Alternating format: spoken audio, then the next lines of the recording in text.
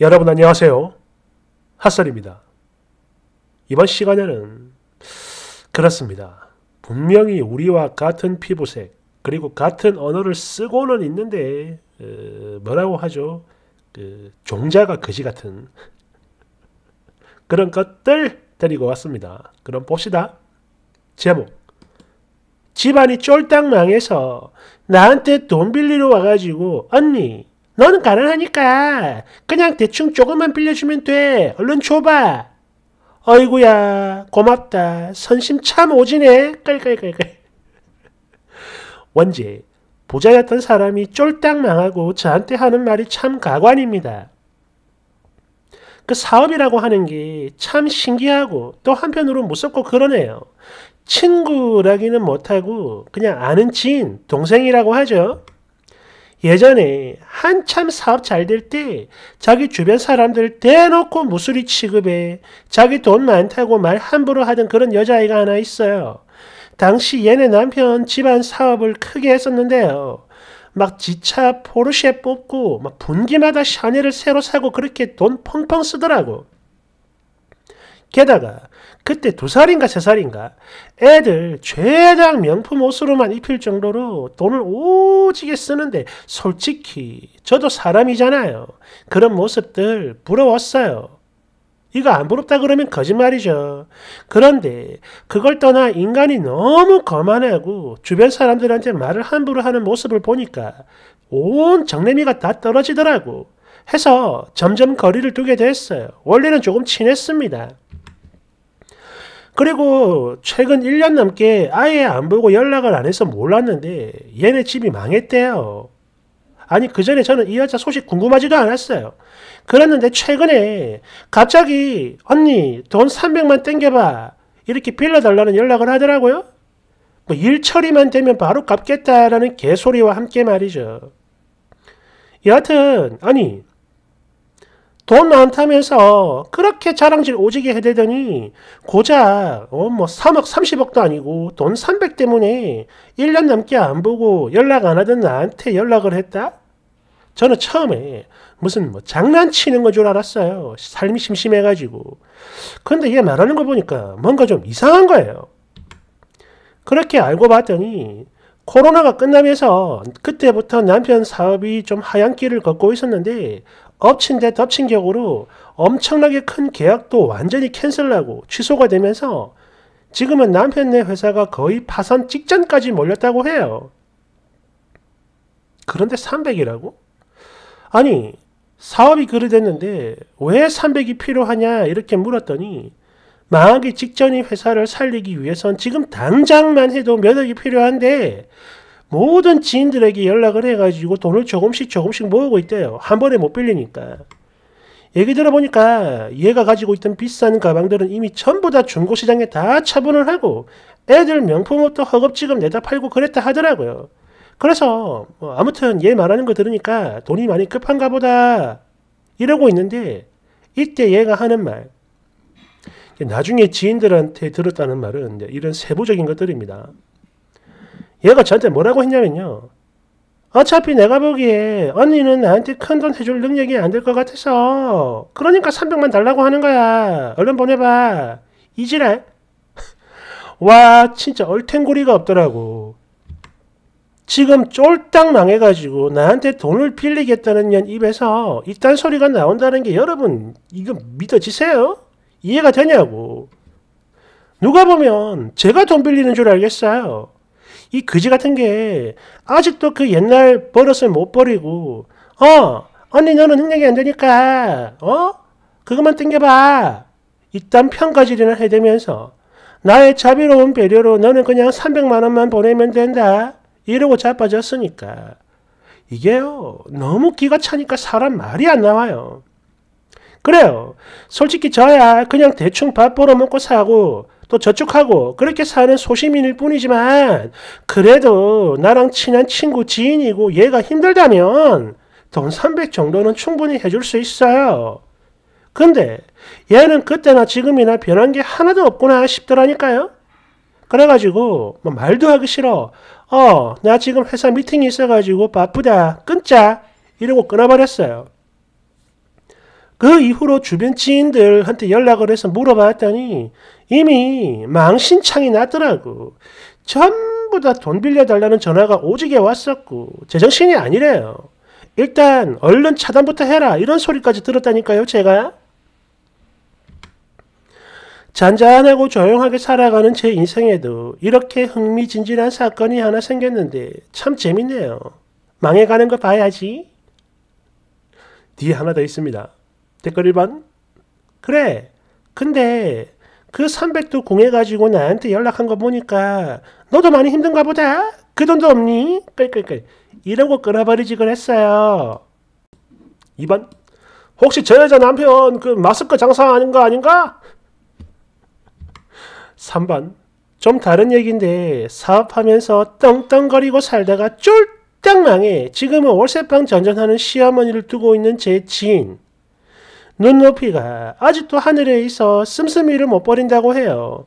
자식들한테 생활비 받아 겨우 살고 있는 형편에 아직 고장도 안 난 멀쩡한 가전제품을 바꿔달라 그러고 청소기는 다이슨이 좋다더라 이러고 또 경조사는 여기저기 얼마나 챙기고 사는지 굳이 안 챙겨도 될 자리까지 꾹 챙기게 만들고 먹거리 하나도 그래요.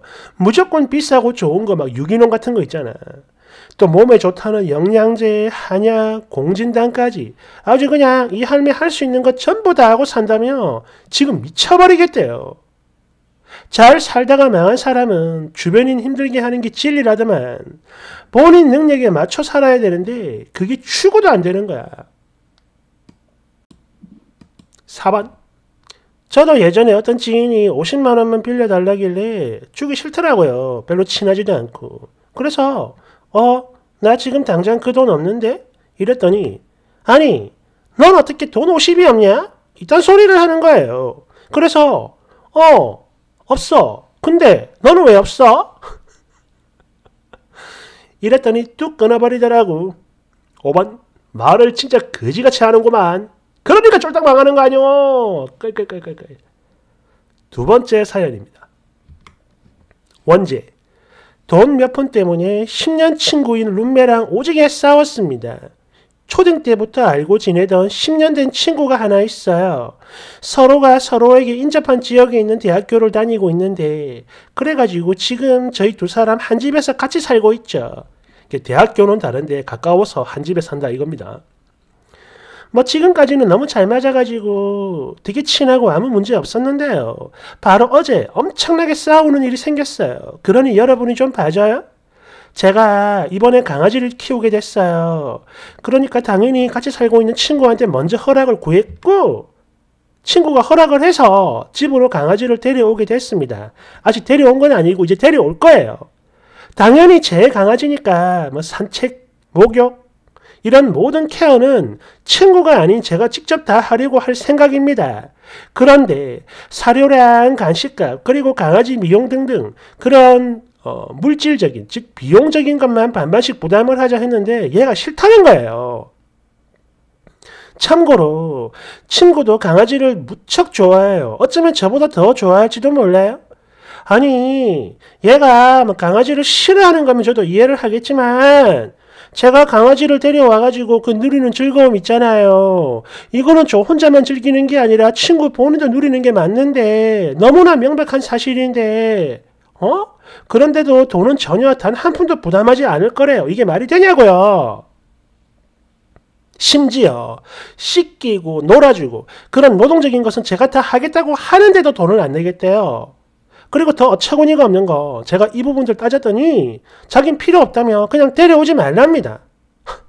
아니 분명 된다고 했으면서 갑자기 이렇게 말이 바뀌면 사람 어처구니가 없잖아요. 누구 놀리나 싶고 그래가지고 따지다가 결국엔 엄청난 싸움까지 가게 됐는데요. 지금 서로 나가니 많이 할 판입니다.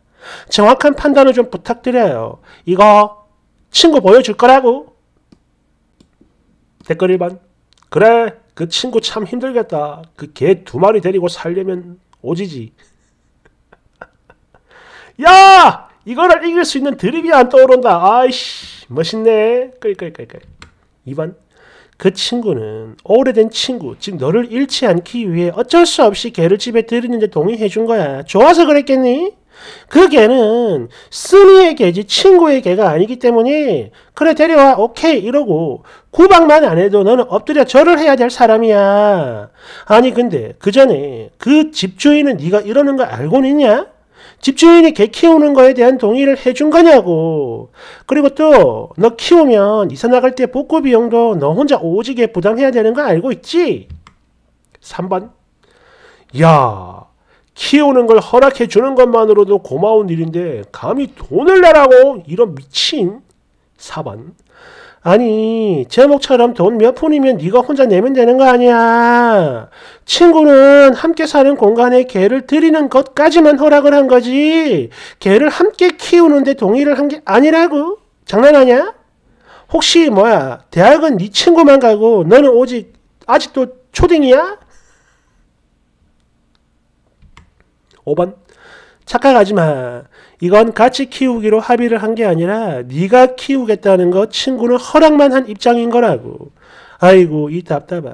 아니 무슨 돈 맡겨놨냐? 만약 친구한테 애가 있어가지고 애를 데려와 키워야 할 판인데 너도 아이를 좋아하니 아이한테 들어가는 식비, 간식비, 미용비까지 같이 내자고 하면 어 그래 이럴 건가? 응? 6번 친구를 떠나서 집주인이 개를 키워도 된다고 허락을 했습니까? 집주인이 허락을 해도 집주인이 허락을 했다 해도 그래 개를 키우면 나중에 장판이랑 도배 이런 거 싹 다 새로 해주고 나가야 되는 거 알고 있지 거기다가 도배 장판 다 하면 최소 100만 원은 나올 텐데 돈 있냐? 어? 개 사료값도 없어가지고 쩔쩔매면서 7번 지금 댓글 단 사람들 100%네 욕만 하고 있는 거 보이지? 이거 꼭 친구한테 보여줘라 미안하다 싹싹 빌면서 8번. 야, 내 살다 살다 별 그지 같은 걸 다 보네. 이거 나중에 지 애도 같이 키우자고 하겠는데? 옛날에 그런 사연이 있었죠. 개 데려오는 거 배려해줬더니 키우는 비용을 내라고? 야, 빨리 집에 가서 개념을 좀 데려오세요. 그 개념 말고 개념. 9번. 아니 이게 뭔 소리야. 쓰니 혹시 지능이 좀 낮아요? 아니면 뭐 어디 대가리에 구멍이라도 크게 난 건가? 뭐야 이게. 요즘에는 이렇게 은은하게 미친 것들이 참 많더라고. 깔깔깔깔깔깔. 이거는 은은하게 미친 게 아닌데요.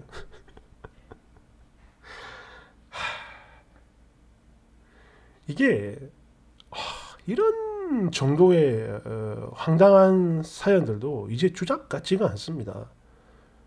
정말 어, 상상을 초월하는 애들 정말 많더라고. 어. 아무튼 어, 감사합니다. 음.